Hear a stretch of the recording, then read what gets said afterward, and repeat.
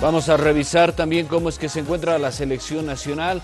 Trabajaron algunos jugadores este fin de semana y estos ya están esperando el encuentro ante Argentina. Saben que tienen que despedirse de la mejor manera, sumando puntos. Si no son los tres, al menos un punto.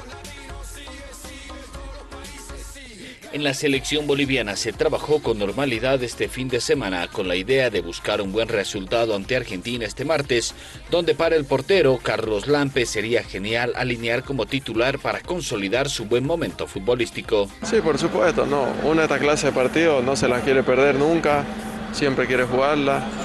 Y, y bueno, tengo que aprovechar mi momento, tengo que aprovechar mi chance como me la estaba dando el profe y seguir consolidándome en el arco. ¿no? El guardamete está seguro de que el equipo va mejorando, pero no quiere hacer una autocrítica de su papel en esta copa. No sé, no sé si mejor o peor, pero, pero la verdad que estoy conforme. Eh, sé que todavía puedo más. Eh, he tenido muchas intervenciones que por ahí no te imaginabas poder hacerlas. Y eso es con trabajo, con dedicación, eh, la confianza que nos, da, que nos dan los profes.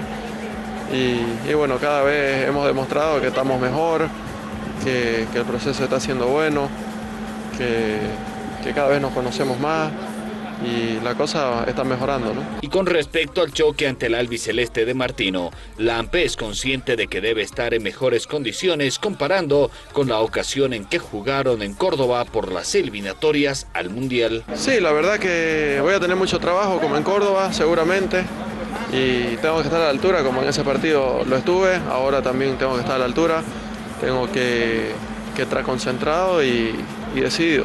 Bolivia jugará frente a Argentina este martes desde las 22 horas en el estadio Century Link Field de Seattle por la tercera fecha del Grupo D de esta Copa América Centenario.